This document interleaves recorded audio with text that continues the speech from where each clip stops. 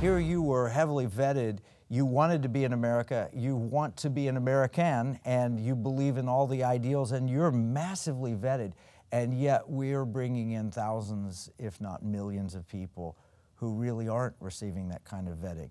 I, I, a friend of mine is, is Congressman, Congresswoman Michele Bachmann uh, in Minneapolis, and uh, and she saw in her district lots of people settled there and the question I have is, you know, is immigration something that's being used for political purposes, especially when we hear the Democratic Party saying, hey, if you're here illegally, it's okay. You should you open borders and anybody can vote who wants to. Stop and ask yourself and tell me what you think.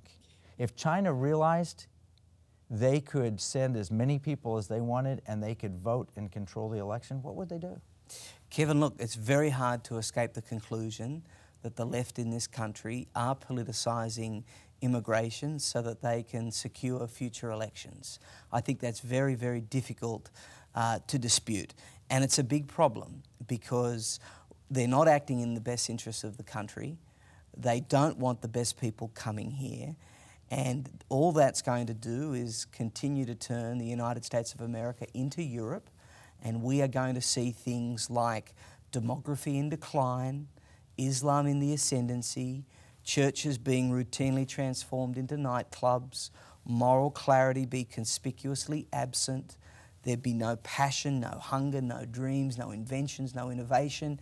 And that's not the future that we want for the United States of America. So, what do we do? How do we fix the immigration situation? Well, we need to make it really, really easy for good people to come here and really, really hard, if not impossible, for bad people to come here. And how do you define that? I mean, that, that's the challenge, right? Good, I think, Kevin, needs to be somebody that's going to come to the United States of America and is going to contribute, is going to learn how to speak English, is going to be an integral part of society.